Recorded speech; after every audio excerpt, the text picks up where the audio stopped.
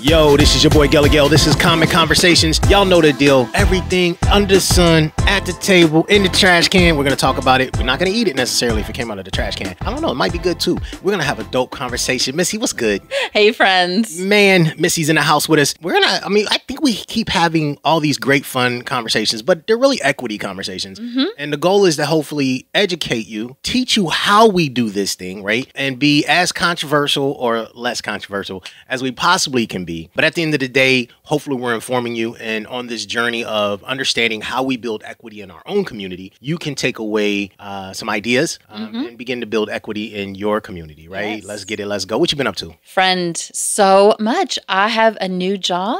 Ooh, new jobs. Let's go. Job first, first new job in 20 years. I was with the same agency for 20 years, but I'm with the same program, still doing prevention work at the state level. I And was with one job as long as I've been married. a little easier to switch jobs than spouses, right? I would agree with you. I would agree with you. Let's get it. But I it didn't mean that felt like ending, you know, a marriage because it was so long. But Get more money. I, I did, but I know we're not supposed to talk about money no, in this no, world, not- but, but I did. Yeah, we got some. We got privileges. exactly. Let's there, go. some good came with it, and I have a home office now. It's lovely. Everything is lovely. So you used to work in this cloud in the sky, right? Tell everybody where you used to work. At. Oh, I used to work at New Hope Services, and now I work for Straight Path Consulting. So it's the I do consulting and training for the entire state of Indiana when it comes to healthy families. Let's scale up. Let's get it. So kind of the same space, just Mhm. new opportunity. Let's go. Everybody who's scaling up in the world, man, give yourself a pat on the back. Let's get it. Let's go. Let's make that bread. Live happy lives. So we've got um, John Edwards with us today, right? Did I say that correctly?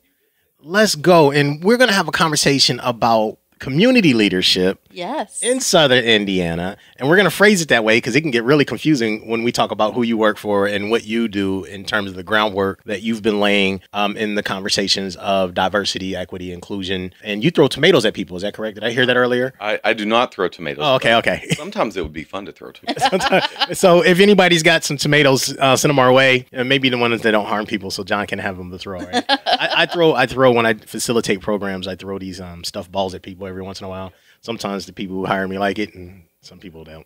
But it is what it is. Missy, Friend, let's go. let's do it. Where we going? We're gonna talk to John. I want to know. I want John to tell us where we're going. John, take us on a on a journey. Tell us about you. For sure. So I have a wild and crazy past. I have literally done pretty much everything you can imagine uh, doing in my professional life. It's been an amazing journey. Started out very, very small. I came from a town called Perryville, Kentucky, less than probably a thousand people. I grew up with uh, my mom and dad and brother. Just terrific family, super supportive. Grew up in church, um, so we uh, grew up Southern Baptist, and Southern Baptist was the um, what we started as. So you know, growing up in that space, it was very difficult as I started to come to the realization of who I was. Right, you know, figuring out that I'm a gay man and living in that space with my family, you know, was at first difficult um, as it would be for any family, Mhm. you know, when you're adjusting and learning something new. But as time has went on, you know, I have the most amazing mom and dad that are, Good. you know, wonderful. My dad is very faith heavy. Um, and it's one of the things that I love about my father the most is his devotion and his faith and what he follows. He's diehard, you know, does everything he can to empower himself. And that's one of the things that I took from my dad is, you know, that ability to believe in something and push. So growing up, went to high school, graduated high school, went to college, realized college was not for me. So I went to uh, beauty school actually. Became a hairdresser. Mhm. and that was an interesting conversation when i came home that day and told my dad oh by the way i'm leaving college to go to beauty school. But uh you know started working as a hairdresser. Just my business grew and grew and grew. Um, had a tremendous business for years. Then in roughly i think it was like 2004 a couple of things happened. Number one i started i became an artist uh, with uh, L'Oreal. It was one of the brands under their professional um, product side, and started traveling and teaching hairdressers. So how did that? First of all, let's talk. So your business was like in small town Kentucky, Yep. and clientele grew. Clientele grew to the point where I became noticed, you know, and it was actually a distributor who noticed me and then came to me and said, You're so talented. Why don't we try to get you in an artistic platform space? And I was like, Sure. You know, I mean, I'd never talked in front of a group of people before, never done that, but I was like, sure. And took a liking to it. Like, not just liking it from a perspective of being in front of people and having that ego of being like, oh my gosh, everybody's looking at me, but I was changing people's lives. Like I was teaching them skills that made them more money or made their life easier or whatever it may be. So thus began my love of development and education. So um the second thing that happened in 2004, which we'll get into in a little bit, that kind of shifted my heart and my process was I had a childhood friend, uh, Jesse Valencia. We grew up together, kindergarten all the way through high school. We were involved in Cub Scouts, T-ball, church RAs, you know, high school plays, the whole nine yards. Um, but he was murdered in 2004. Oh my gosh. Um, so it was a shift for me. But the other thing that began to happen is coming out as a gay man at 18 and starting to live my truth and being super connected to who I was.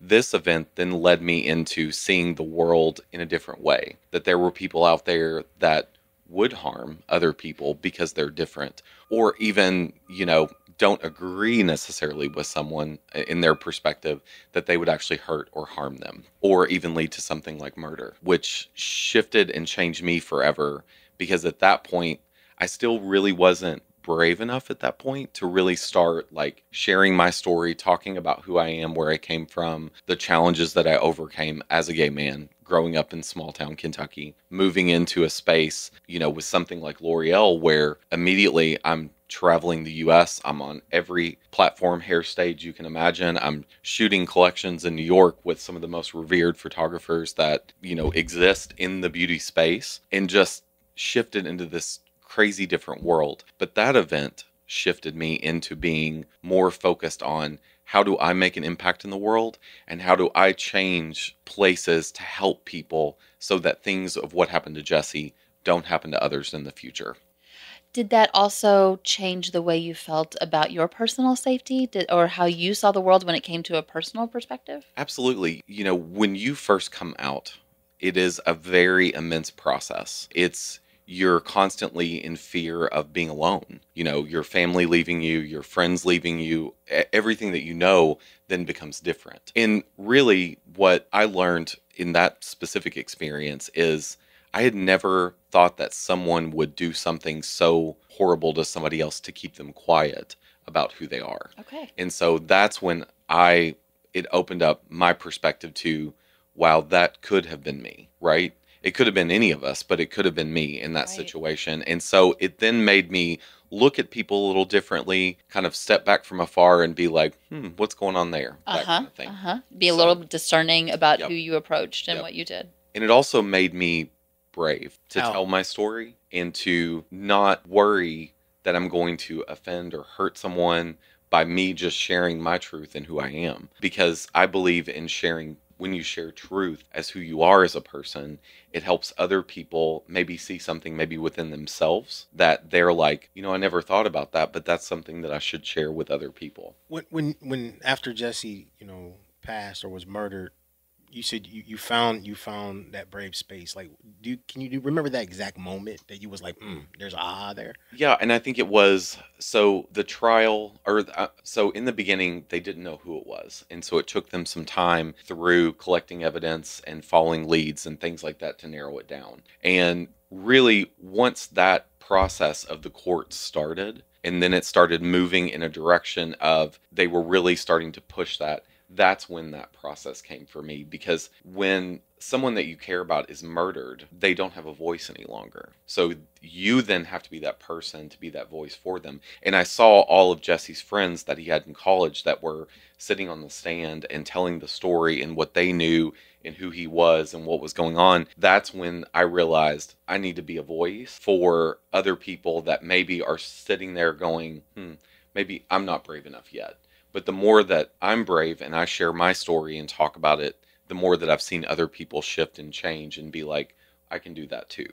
So something that could have made you fearful made you brave. Yes, correct. And it's, you know, it's something that truly changed me forever. And it's, you know, now as a almost 42 year old man looking back on my life, you know, I probably have been a little bit quieter than what I should have been for years. And honestly, it's just because I was busy. I mm-hmm. traveled all the time when I mm-hmm. worked for L'Oreal. So I was never home. I was never in a space where I felt rooted in a place long enough to really be connected, to be able to share my story and encourage others to share their story so that it connects into the community because it's all of those stories that come together that root and make a community what it is. And moving here, which I know I'm kind of skipping ahead a little bit. Sorry about that. well, I am curious about that part because you yeah. were with L'Oreal, you were traveling everywhere, Yep. but you ended up in Southern Indiana. Yep. So what? How'd that happen? So in 2013, I took a corporate job um, creatively building and working with uh, the JCPenney Corporation. So when Ron Johnson left Apple as the CEO and went over to JCPenney, that's when I joined as the creative side. So we were creating all the creative content,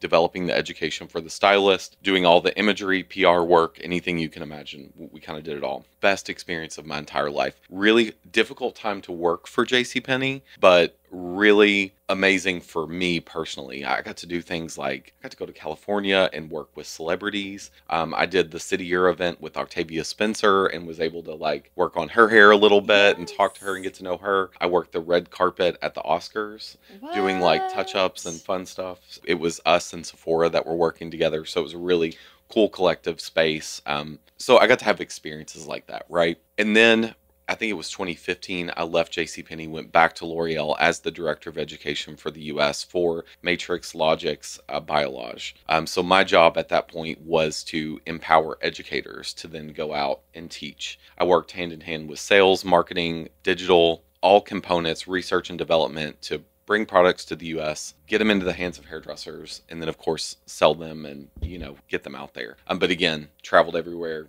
amazing experiences. But the one thing that I found, and people ask me all this all the time, they're like, "Oh my gosh, that job was so glamorous." Like, why? It is glamorous and it is a lot of fun, but you will wake up in a hotel one day in Idaho, No. right? Somewhere random, and you will go, "Where has the last 10 years of my life gone?"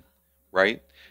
I've done all this cool stuff. I have this amazing resume, all these cool pictures, magazine articles, whatever, but like I had no connection to anywhere. So right before I in working with JCPenney, they moved me from the central US where I was to Dallas, Texas, and I took over the west west coast. So at every like if you draw a line down the middle of the U.S., I took over everything in the West. Opened several uh, salon by in uh, the the salon the InStyle salon by J.C. Penney. Um, we opened several of those for, through the U.S. We had a partnership with InStyle magazine in New York um, to do that, and it was through that experience that I just was like, I miss you know.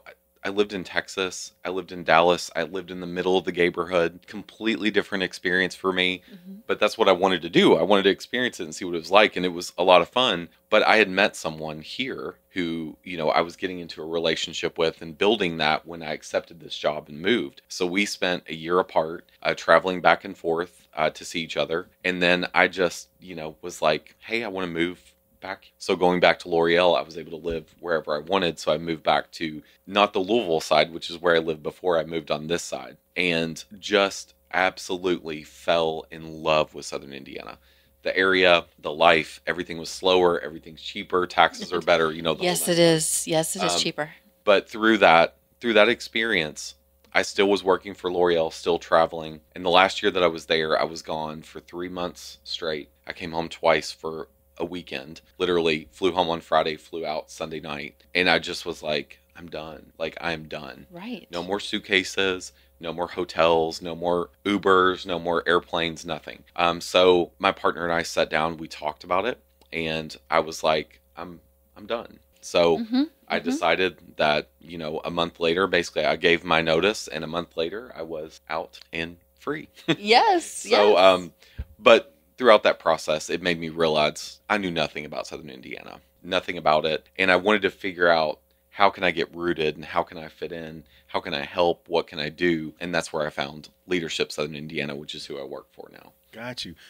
And before we jump in there, I'm. I'm curious. You know, as as a gay man in working for L'Oreal, right in the Uh-huh. hair industry, you know, you drove up through the ranks, Mhm. right?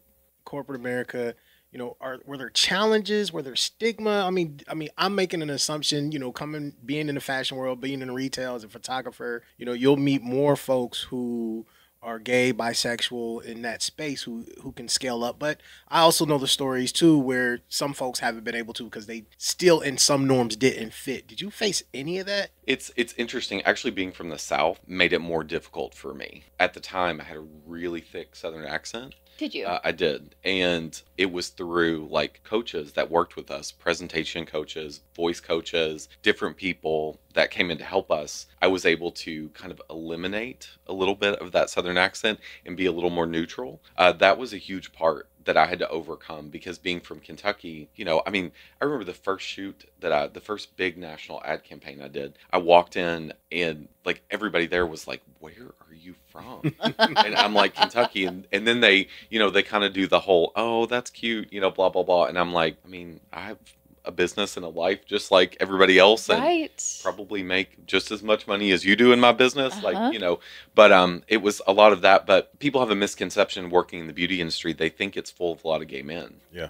it's actually not at all you know l'oreal is a one of my favorite parts about them is they're a big one for women's empowerment and so a lot of leadership and things that work in l'oreal that work for l'oreal are women. You know you still you still have you know a lot of men as well too but a lot of the men that are there are straight men. So you know there was a very small group of us that were gay men that were open and you know and l'oreal's a super supportive company. Like they're very inclusive and very you know focus on you know making sure everybody feels included in that process which is great. But it's just kind of wild that people assume that you know you walk into a room and there's a bunch of male hairdressers doing hair that they're like oh everybody's gay. Actually not a lot of them are. There was actually very few of us that were gay.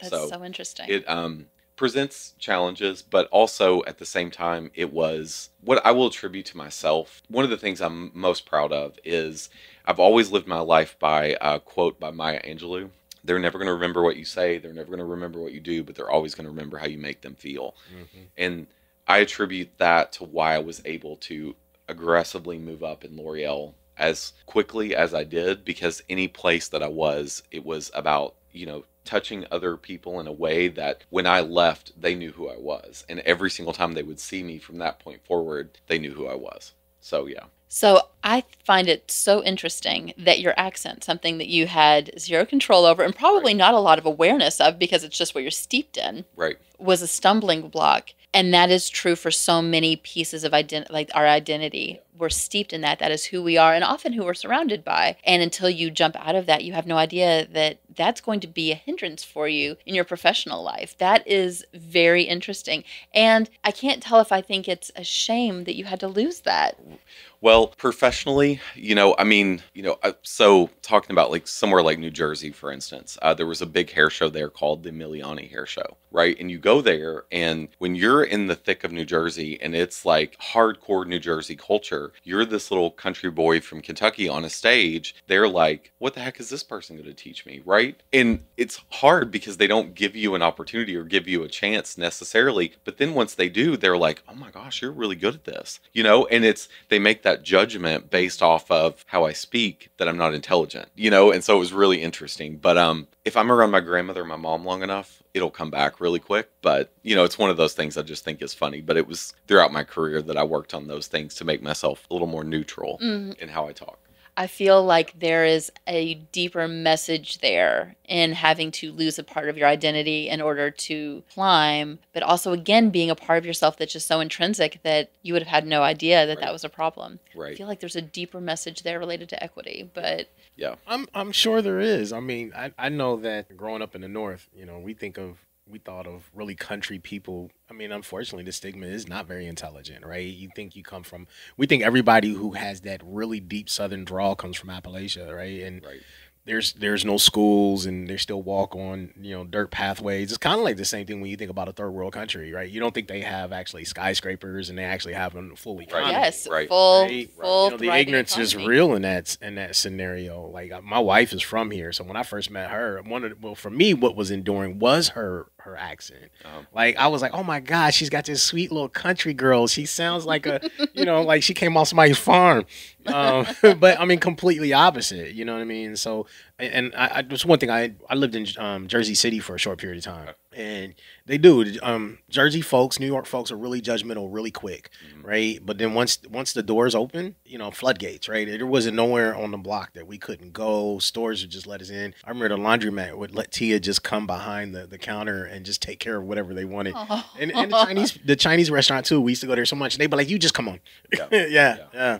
Yeah. So that's cool. It's and going to New York, for instance, you know, because L'Oreal's headquarters is in New York for the U.S. I spent a lot of time going there, and so then coming back home, right to my client base, and they would be like, "Oh, what were you doing?" And I was like, "Well, we were shooting this campaign, or we were doing this educational video, or whatever." And my clients were just like, "Oh my God, what about New York?" and blah blah blah. And honestly, traveling there for 15 year 15 16 years i became like new york was the second home because when i went full time i was there like almost every month if not more. And so it's really interesting you know when you when you start going there and you start as a southerner where everything's a little slower everything's a little everybody's kind you know they open the door oh i'm sorry thank you you know bless your heart kind of thing. Being in new york the first time i was on the street i remember because back then i don't know if i had a cell phone that had a map on it the first time i went to new york. I, I think i had to like look it up somehow. But anyway I remember I left like almost an hour earlier, like an hour early to go like three blocks because I was so worried that I was going to get lost or something was going to happen.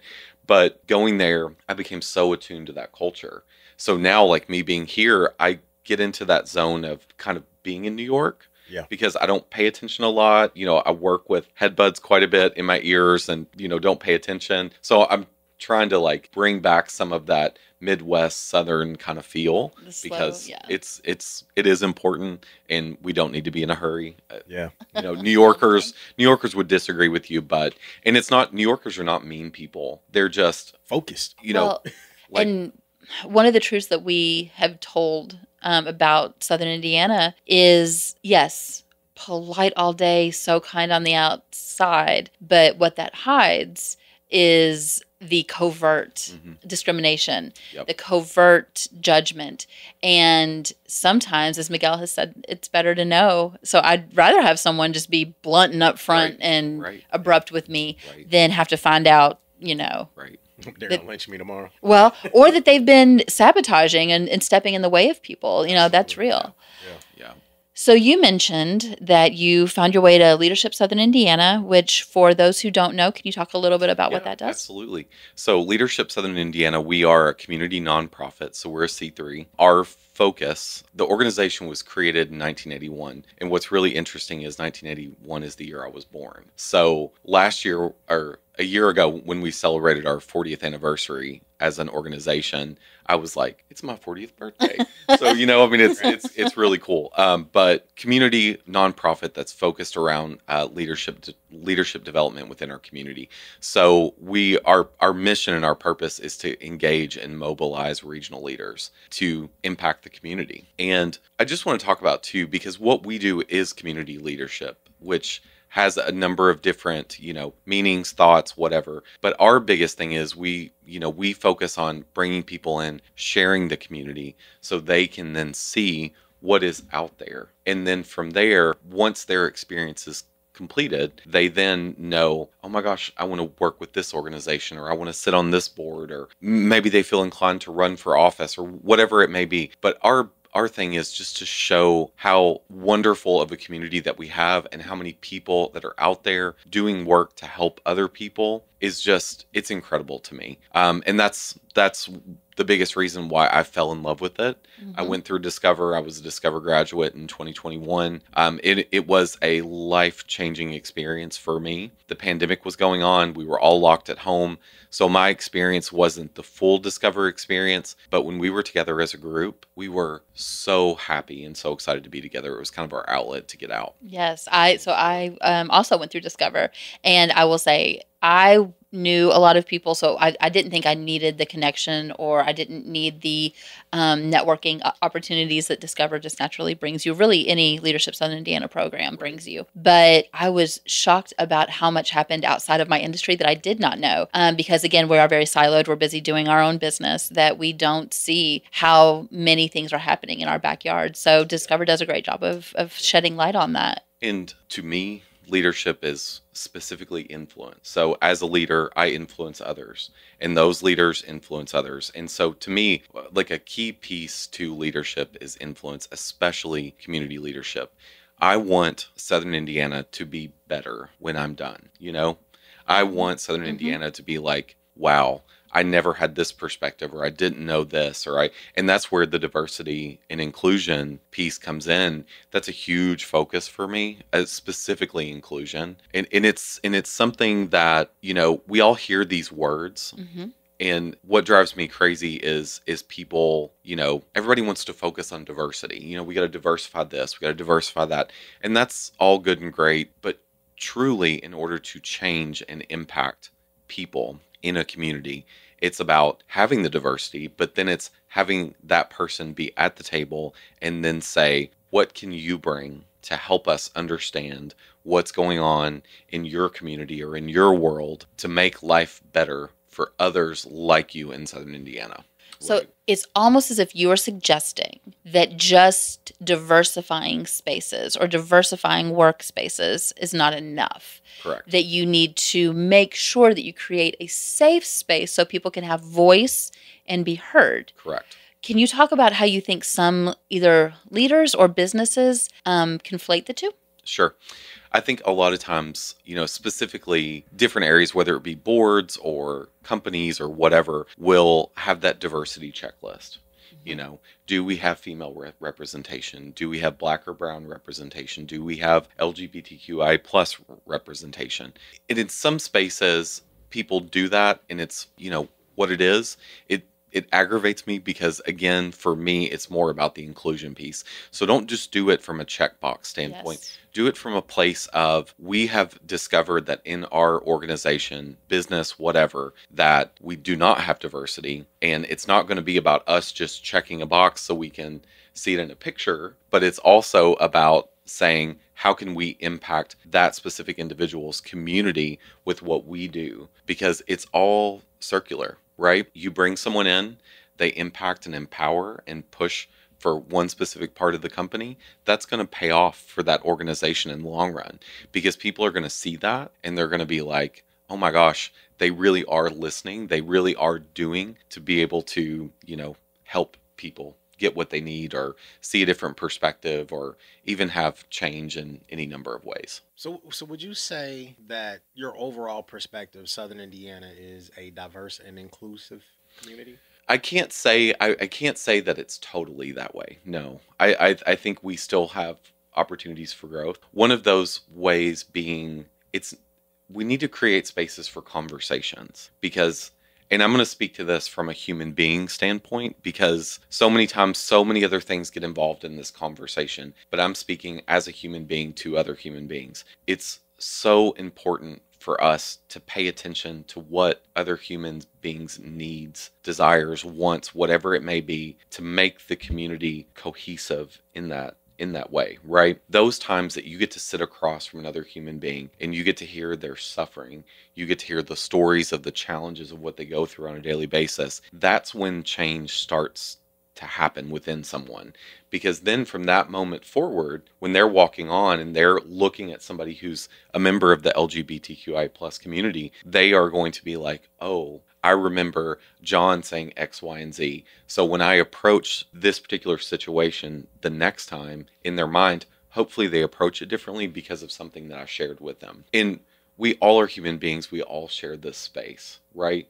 We live in america. America is home of the free right? And so it's so important for us to support and love and respect other people in their ability to do that and to live their life and be better. We do have a lot of challenges, not just in southern Indiana, but as as a whole. There, there's a lot of challenges. But I believe, I really, really believe that this young generation of people that are coming up is going to be the difference that's going to start shifting things in really big ways. You know, they're just they're just so inclusive just in who they are.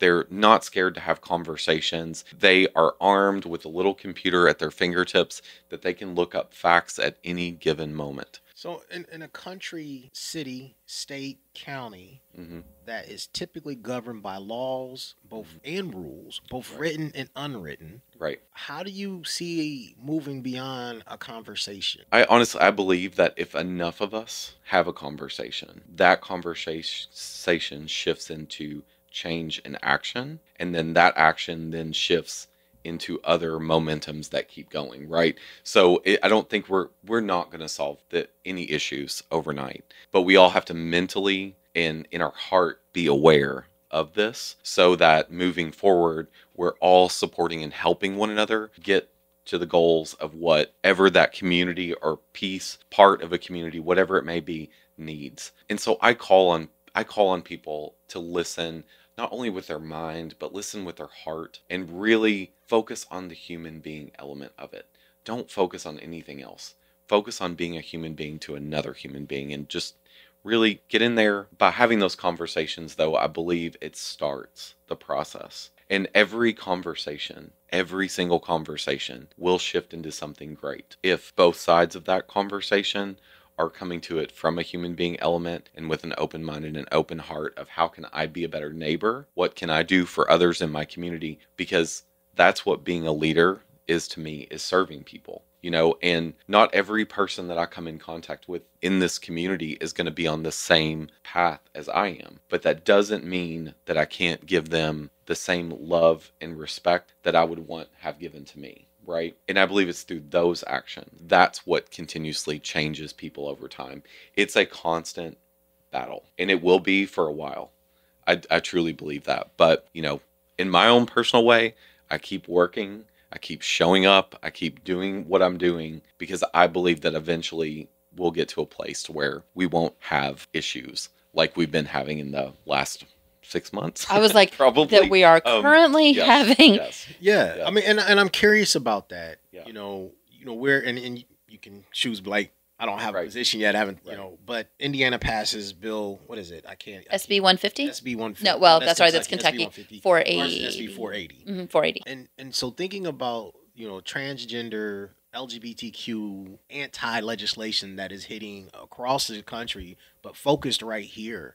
You know, what is the leadership in our community doing right to bring inclusion and equity and and, Right. and diversity in that space? Well, and so that safety this to doesn't happen. kids. Like we Right. literally just had a governor sign a bill Right. who said, "I don't believe in it, don't really know what it is, and it's as clear as mud." Right. But you know what? It's gonna. f- But that bill is going to affect a lot of people's lives. Yeah. So, and I'm going to speak to this from my leadership standpoint, right? The main thing that I can do right away, because as one person, you can't necessarily go somewhere and change, you know, a whole group of people's laws or whatever it is that they're doing, you know, putting together.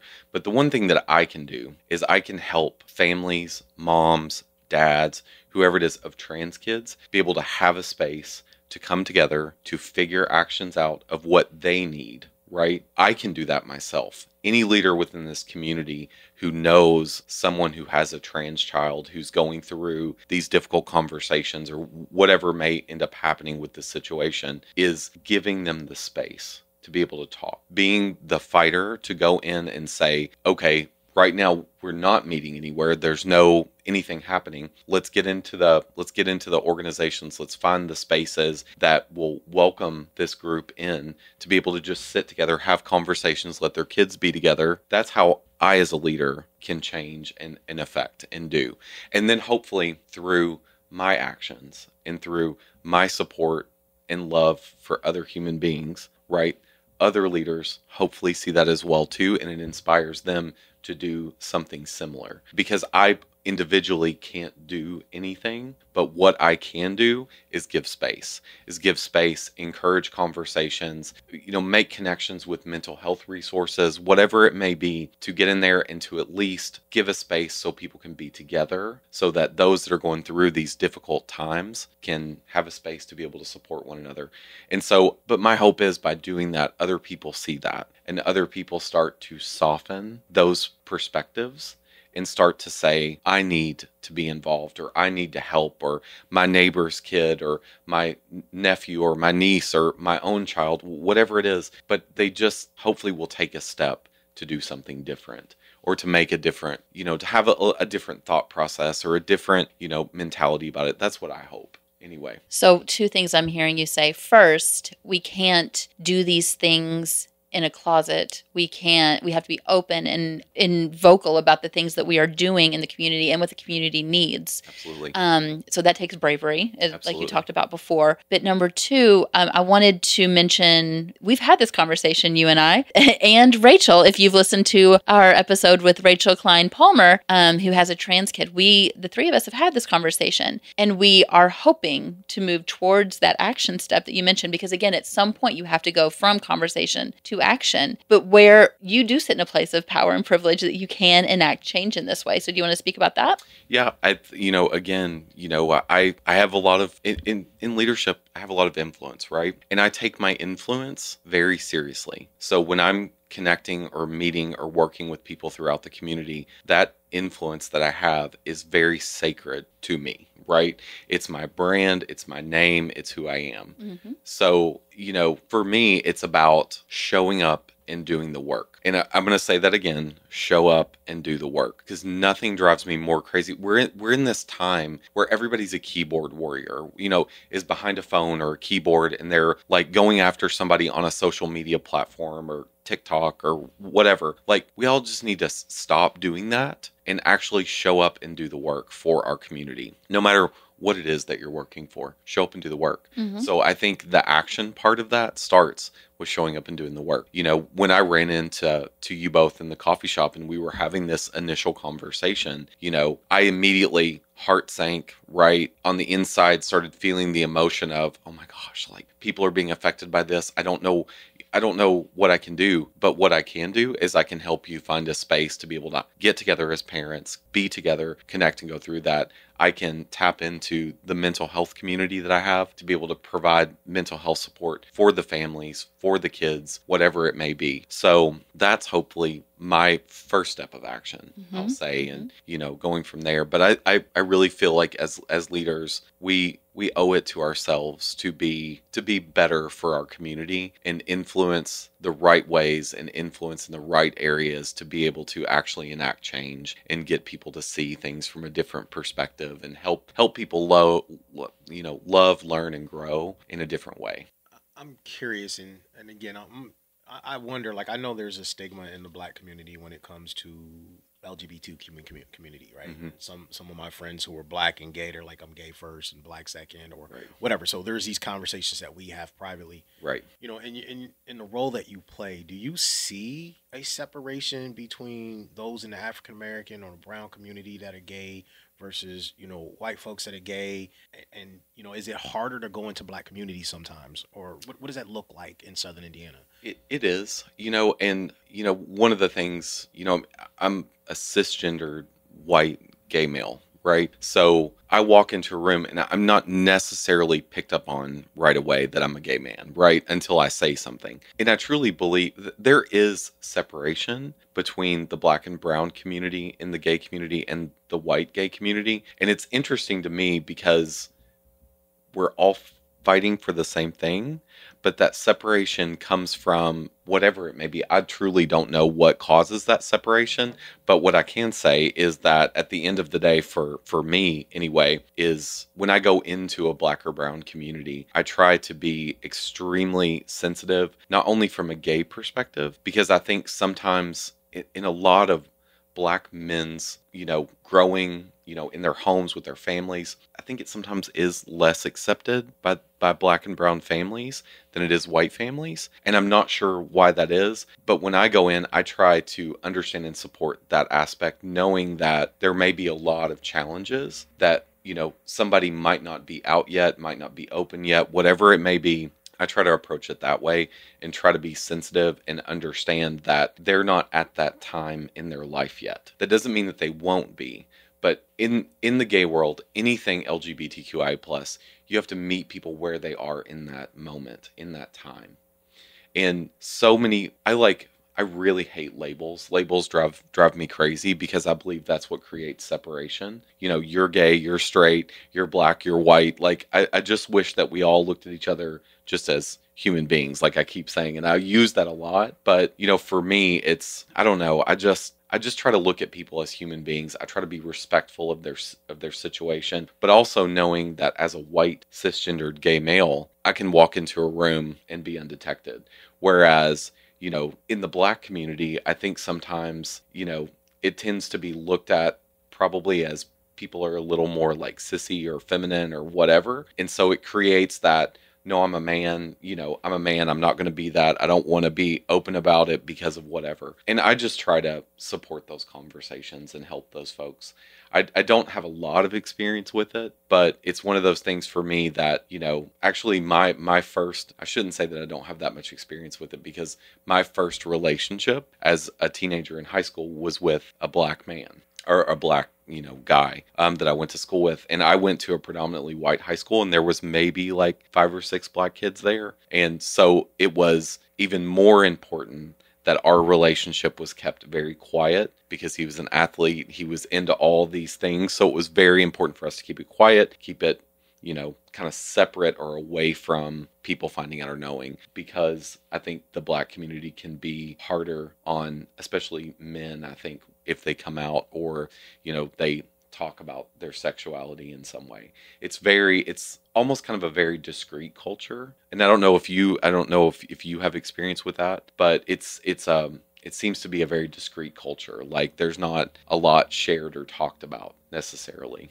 I mean, yeah, I mean, there's there's a lot of stigma. I mean, church, you know, it's is really big. Definitely when you talk about people who are kind of diehard Christians and, mm-hmm. and, and, that belief and, and that can can can definitely disrupt mm-hmm. right um, relationships you know and, and i thought it was interesting when you said your your dad was you know southern baptist and i was mm-hmm. like man that's got to be an interesting dynamic because mm-hmm. i know in the black community that would extremely that would definitely be mm-hmm. an interesting dynamic i mm-hmm. know um, my mom's my mom's third husband when she was married a third time you know, came out as gay after, you know, a period of time, but I, I know that he was ostracized from his family mm-hmm. at one point and his father was a pastor, right? Yep. And so there, there is that. Um, and it's consistent. I can't speak to it cause I'm not, I'm not a gay man in uh-huh. that space, but I've, I've seen enough of it to question and wonder. Uh-huh. And, and like I've said in other shows, like this is a new conversation for me, right? Yeah. Um, it's yeah. not one we get to have often you know, and, and even even strangely, like one of my best friends in high school was gay. We knew he was gay, mm-hmm. but he would never say he was gay. Right. And you know, understanding today what I know, I know why he wouldn't have said anything. Right. You know, he later comes out when you know we're full ass adults, mm-hmm. and he comes out and he says, "Hey, by the way, I'm gay." And I remember when he called me and I laughed, and he was like, "What's funny?" I was like, "Dude, we always knew." Mm-hmm. You know, I mean, I'm glad you finally figured it out. Right. But I also understand culturally what that means in, in certain communities. We played football, right. basketball. You know, right. we were supposed to be this machismo thing right. in these spaces. I also, his dad um, was from Alabama um, this is a white family, so he he was a really strong person from Alabama, and we'll just leave it there. Uh-huh. So I'm sure that took some shift, considering I was probably the first black person to ever come in their house. Right. Um, and so you know, so yeah, I I, I definitely I definitely imagine there's a great deal of stigma in some of the conversations we have, and I, I often wonder, you know, where does it come from, right? Right. Um, all of it, right? Because it's there's a consistency, but it is. I mean, you know, it, in stigma happens, you know, a lot with gay men you know it's it's you know and in the gay world you you hear a lot of gay men specifically speak to themselves as uh, like mask or masculine right? Okay. so they will define themselves as a gay man as being a masculine gay man. They're not a you know flamboyant you know person. And it's it's interesting to me because i never really look at that within people men women uh, like i just look at people as whether i have good energy with them if I have a good flow or a good feel, right? But I think a lot of gay men really want to hold on to that masculinity and that butchness, if you were to say, because they don't want to ever be labeled as, you know, flamboyant or girly or sissy or whatever it may be. You know, I mean, my mom will tell you about me growing up. She always knew I was different. She'll tell you I was sensitive, I was artistic. You know, I always wanted to be involved in anything hair, fashion, or makeup. You know, I was all about all of that. And so she knew and she could see me struggling, you know, trying to be in a world where, you know, I'm with all these, you know, macho country guys, which still to this day are some of my best friends in the entire world talk to them all the time, love them to death, fully supportive of me, have always been supportive. And it took a long time to get there because I didn't come out to them. They found out, and that hurt a lot of them because I didn't share that. They knew I was gay, right? They knew I was different, but they me not sharing that with them and talking to them about that, I think really hurt and impact a lot of them Mhm. because they were like, "You were my best friend. You stayed at my house all the time." And and to me as a gay man, I'm thinking, "Well, that's why I didn't want to say anything." Because I want to continue to stay at your right, house. because I wanted to be your friend, you know? And it's that's the fear that you grow up with as a gay person and it still continues even into adulthood. Because there are situations i mean happens all the time. It happens all the time here in southern indiana. I will meet people and if i say something my partner my husband my boyfriend, whatever terminology i use i can see the look on their face you know and it's like you know i'm like i'm like come on now you know i'm I, i'm no different Right. I was the same person five seconds ago that I am like- now that you know. gay doesn't define me. Gay is a part of who I am. I am me first and foremost. I'm not I'm I I'm not gay first. I'm me first.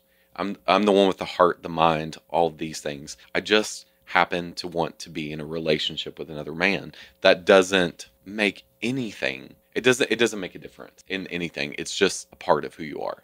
One of the things that you said I want to go back to, you mentioned hating labels and just seeing people as people. But I also, in the same breath, I've heard you say, but I recognize what they bring to the table. That, you know, I have to be more sensitive around a black gay person because I know that they are coming with a certain level of baggage, possibly, or in the black community, knowing that they may, they have a different, because again, as a cis white man, you know that your struggle has been different than theirs. So while you hate those labels, you are still able to see the full person there. And I think that that's the important thing because it almost, you know, people talk about, I want to be colorblind, blah, blah, blah. but when you are colorblind, you are not seeing the full humanity because you don't know what that full, that person has brought to the table. Right. So I really respect that while you still want to see person as a human first, um, you are seeing everything that they bring and all of the possible, you know, baggage is not the right word, but the struggles and the battles that they have fought to even be in that space. I think, for instance, not seeing a person as black also doesn't see how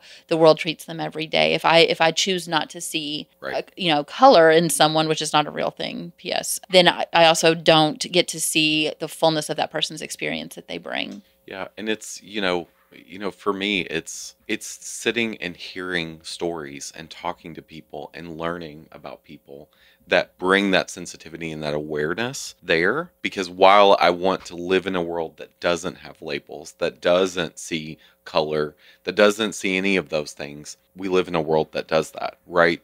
And the way that I, as a leader, can impact that is by having people share their stories having people share uncomfortable parts about their past because it's through those moments of emotion that stir that inside of someone that makes them see something differently. And I- Mhm. I live with a lot of empathy and a lot of compassion. You know, I do a lot in the community. You know, I'm a part, I'm, I'm one of the board of directors on the Southern Indiana Pride Festival. Mhm. Um, you know, I work with the Jeffersonville Public Art Commission. I work with the Arts Alliance um, here in Southern Indiana. And I serve all of these because they make our community better. You know, They do. like, you know, public art to me in any expression is one of the most important things that we can do because art to me evokes emotion. When you walk up to it and you see it like when i walked into your studio and see all of your beautiful pictures and the the fashion expression and the the the raw edge to a lot of it it just it in me it just automatically ignites this just like i want to be here. Like i want to stay here you know?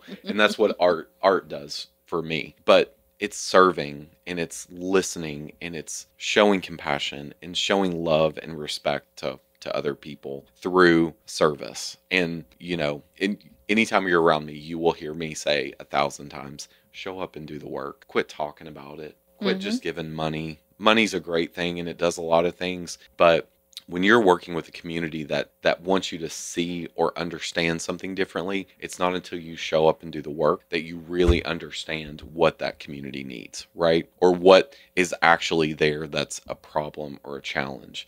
Because through the work that's how you see it. And so i encourage people all the time uh, you know in a lot of our programs we do serve projects we do many things and that's because i want our leaders to show up and do the work and see that actually them packing you know 75 treat bags for the homeless in southern Indiana makes the biggest difference ever. Because while to us it's 35 bucks for like a package of like, you know, chips or crackers or whatever it is, when you put those in a bag and then at the end of it they write a little note you know, saying something like, I hope this makes your day better and puts it in that bag. And when that person picks that bag up and is sitting there, you know, could potentially be the only food that they have for a week or whatever, you know, and then they get to that card and they open that little card and they see, you know, I hope this makes your day better. And hopefully through that act of service and doing that, it does change. It does make a difference. So, yeah. And I would say even packing the bags helps bring awareness. I know when we do that as a family, it causes our kids, because we keep them in the car, to look for people that the culture and that the world prefers to make invisible. So they're looking for people on the margins. Yep. And if you have those bags in your car after you've packed them, you start to look at the world in a different way. So it's not just the giving, it's the act of seeing the world differently. Yeah.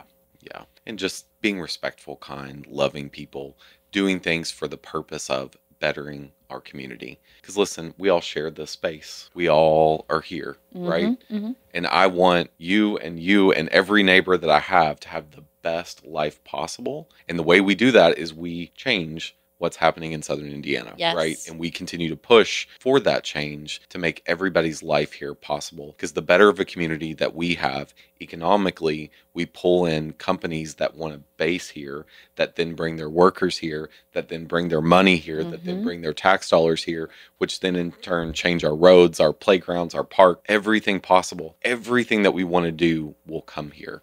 And I've seen Southern Indiana since I've lived here. I've lived here for seven years, eight years now. I've seen it change drastically because I believe, even though we still have some opportunity, I think it's one hell of a community. And I've never seen groups of people that show up and work harder for each other than I have here. I've we have some of the most amazing nonprofit organizations that serve and help and selflessly do all of the things that they do. We have great companies, great businesses, great business resources. We have everything. Even this, you guys are started this podcast to enact change Mhm. and to drive conversation and tell stories. And stories is what is our history, but it's also what changes us for the future. I completely agree. I do want to point out, though, that yes, we want companies to come here. We want companies to feel safe and able to come here. But, like we mentioned in the last episode, if you keep passing these laws that make people unsafe, large companies will leave. So, legislators, just something to think about. We need to make people feel safe in this state. Absolutely note- make everybody feel safe. John, thank you for coming and sharing with us. It has been amazing. I really appreciate your story. I want to know more. I wish we had more time so you can come back and do this Yep, again. absolutely. should definitely come to one of the panel discussions. Absolutely. Yes, yes. Parlay. Missy, Friend, we out of here. we're done. Yo, this is your boy Gelly Gale. This is Missy Smith. Bye, friends. This is Common Conversations. We'll holla at you next show. Peace, love, and hair grease.